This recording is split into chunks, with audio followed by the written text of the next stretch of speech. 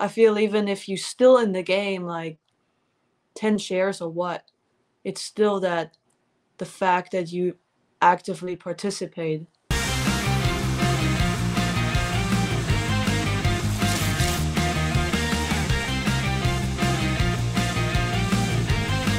Funded trader of uh, Trade The Pool. Today uh, with me is Patricia. How are you doing? Good, good. How are you? Thank you. I'm great. Uh, you passed the evaluation of the um, super buying power, right? That's Mhm. uh, eighty thousand dollar of buying power. You can trade and basically go on any of our twelve thousand uh, symbols, um, stock trading, of course. And uh, Patricia, let's talk a little bit about your trading style and you know how long you've been doing that. Uh, so I've started about a year and a half ago. Oh. And um, I started with, you know, I got bought myself a course and started with simple like VWAP strategy, um, super basic, and then over the course I uh, became more short biased, and Mhm. so right now I uh, short small caps basically. That's my strategy, and usually during the open. Uh, that's amazing. A lot of the traders that we have, like funded traders that we have, are doing literally the same thing. You know, just looking for those small caps to short them. What? Uh, why is it that you attracted to this one? I mean, why not to trade Tesla or Amazon, Google? What's so special about those small caps? Um, I don't know. I look at my ticker, my scanner. There's so much liquidity Mhm. and so much range. Yeah. Uh, I'm not just scalping. Uh, scalping. I'm more um, taking a position and holding it a bit longer. Um, Not overnight, but it's something I could set and forget. Basically, I do have a little, uh, a little baby, so I cannot really be in front of the screen all the time. She needs the attention, so I I like looking at the hot stocks, uh, make my my theory, set my position, set my stops and my profit taking, and then I can just leave the screen and you know Wow. be on. That- that's amazing. I mean, how can you, you know, first of all, you're one of our um, um, funded, obviously, uh, women that we had um, lately. And this is incredible to see because, you know, this is a lot of the guys, uh, this is like a guy's field Oh, yeah. kind of thing, but to see um, a woman that does that, that's amazing. Thank you. and how old is your baby? Like, that's uh, Uh, she's a year now, so I started when I was six months pregnant. wow, uh, that's amazing. Thank and you. incredible that you actually can do both things. Uh, you mostly day trade, or you also hold uh, for, from time to time, like swing trading. Oh, day trade. I'm on the West Coast. I would lose my mind, like being able, having to get up at 1 a.m. and look at my position. So I'm like, I'm going to close it out that way. That's good. I can forget about it. Amazing. So uh, diving into the trading uh, style, I mean, you short bias, small caps.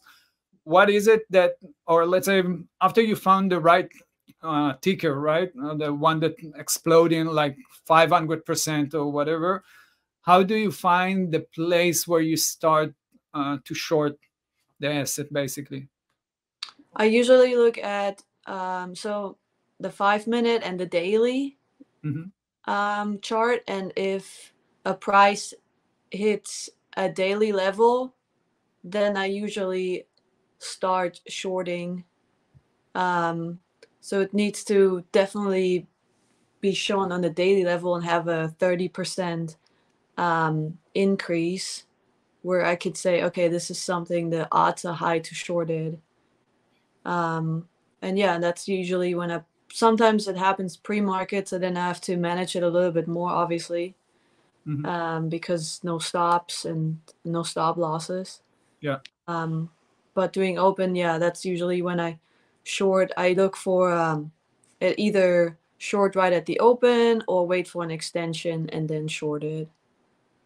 Okay. And besides the daily level, do you have other parameters or um, you know just tools that will say to you, you know, the chances are that the price will decline now?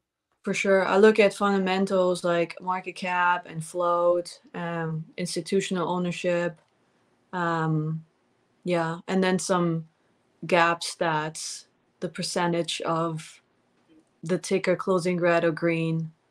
And then I sometimes you need to be quick with your decision.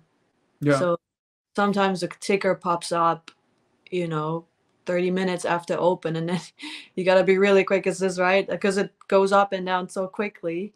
yeah. So you got to look at the fundamentals real quick and, you know, look at the daily and then be quick to enter. Do, do you use any type of uh, like platforms or softwares, tools, anything like that? Like Trade Yeah. ID?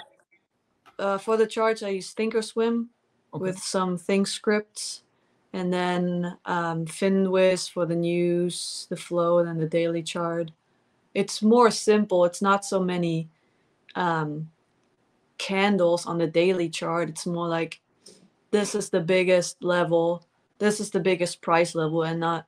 It doesn't show me like 30 possible levels. Mhm. So I like the simplicity of it. So I And, look uh, at that. Sorry, yeah. go ahead. Uh, uh, go ahead, go ahead. Sorry. Yeah, I look at that and then I make my decision based off of that. And do you use any indicators intraday, like uh, pivot points, uh, EMAs, anything like that? VWAP? Yeah, EMA 200, VWAP, um, and then for my targets and stop losses, I use the Fibonacci. So, so to take your profit, you use the Fibonacci retracement, basically. So, Mhm. extend. Huh, interesting. So let's dive into your um, hub or the trading, uh, like the dashboard. Mhm. And like I said, it's the first time I will share my screen so the guys at home can see that.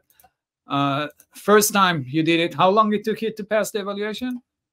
Uh, I know it expired. I the account would expire December 3rd, so I'm I'm not sure how. I did it like less than half the time, I believe. Yeah, from uh, what I see, 23rd of October Mm. all the way to uh, yesterday or so. So yeah, that's a decent, uh, like two, three weeks or so. Um, very nice chart. You know, very consistency. You can see the consistency in your trading. Although you had some pullbacks, like any any stock will pull back, right? so so that's fine but can you tell me a little bit about i mean the progression of of the evaluation so you reached that moment when you had a peak then pulled back how did you pull yourself out of that and continue with the with basically the growth until you reach that point of uh, passing the evaluation Yeah, what I like about Trade The Pool is the fact that you can set your risk and you see it one on one. So when I saw there's a little pullback, I started to decrease my size and um, you know forget about it uh, Hmm. basically and look for the next day. So sometimes it was like, okay, I made 30%, now I'm back to 20, or you made 50%, I'm back to 30. It's like, well, okay, I lost 20, but I already have 30. So I try to you know, change the mindset about that a little bit Hmm. and then go on to the next and the next and the next. and I really like that you're not over, um, you know, overusing the the leverage because you do have eighty thousand um, dollar to with buying power to use, but you actually buying like five hundred or a thousand or two thousand Mhm. shares. I Mhm. see traders that are uh, trying to just go very big and you know buy Yeah. like 20 50,000 shares and Yeah. actually blow their account kind of fast Yep. in your case, a lot of the trades are, you know, go hundred dollar winner, three hundred dollar winner. So that's uh, that's very nice to see as well. And like you said, you are mostly shorting those stocks. That's uh, uh yeah, very nice, very impressive trading. I gotta Thank tell you you. that. And for the first time, a lot of the traders will need at least two attempts in the evaluation to pass it, just to get used to it and um, tweak their own style and and uh, risk management to our system and so you did it very nicely Oh, 44% 43% success rate uh, but with a positive uh, ratio pretty good yeah gotta tell you that Thank you. happy to see that really Thank so you. let's talk a little bit about this. Um, besides the the tips that you can give the guys at home or the ladies at home that watching it right now and wanna you know they're trying the evaluation some of them are uh, getting a like a tough time to pass it. Anything that you can share that might help them specifically for the for the risk of Trade The Pool or for the evaluation? Yeah i mean you guys give us 45 days. So if you think about it in 45 days you don't have to you know try like all out if you actually go on, on your website, I like the little risk management uh, cheat sheet or the that Excel file where you can actually calculate your win rate and how much you would have to make. Yeah. And you can even if you even if you tell yourself I make a hundred dollars every day, in 45 days you you pass that challenge. Mm. You don't need to go for the home run every time. So if you maybe it's say you max daily risk is $700 just risk 200 150 each trade. First of all you don't like tap out. If you like risk your $700 you don't tap out right away. You still survive to trade another day. Yeah. And your system for that is great. I mean it shows you exactly how much you risk and how much you will possibly make at your target. So yeah, go slow. You have so much time. I mean, 45 days, it's a lot. And Yeah. even if you even if you lose a bit, it's like, okay, think about how, how much you made.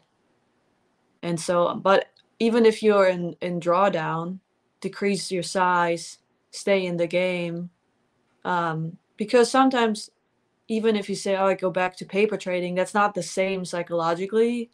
I feel even if you're still in the game, like 10 shares or what it's still that the fact that you actively participate but 100%. decrease size at the same time. Yeah so you still have a skin in the game even uh, exactly. Yeah. Exactly. Super interesting. Um so you've been trading for a year and a half. That's uh, that's not a lot but compared to what you achieved and and the way you do that uh, it's really impressive thank you. What is it right now that you move into the funded account basically is there anything you would change or be less aggressive more aggressive? Because i do see a different mentality for you know for the guys that pass in the evaluation and once they reach the funded account uh, uh, there's a um, shift uh, i Mm. guess in the mentality or the technicality of uh, their trading. Okay. Um So- i yeah probably do the risk the same but the profit taking i might let my winners run a little more. Um for the challenge i took intermediate profits a lot because i Mm. wanted to increase my uh, pot but i would apply the same risk um, but let my runners uh, move a little longer to my the my fibonacci target that i set. Mm, nice.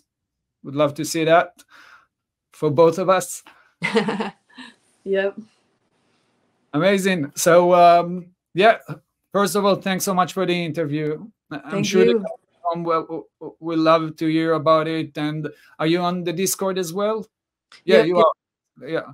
So um, if you want to share anything you want to add to the guys that will, uh, you know, just chat in there. We all, I- when I started, I didn't have any mentor or anyone to just chat with, and that's incredible that we have this community on Discord and uh, we can share our thoughts and um, our experience basically. very true. Yeah thank you. I'll definitely do that. Alrighty, sounds great, Patricia. So thanks so much and uh, best of luck. thank you. You too. Thanks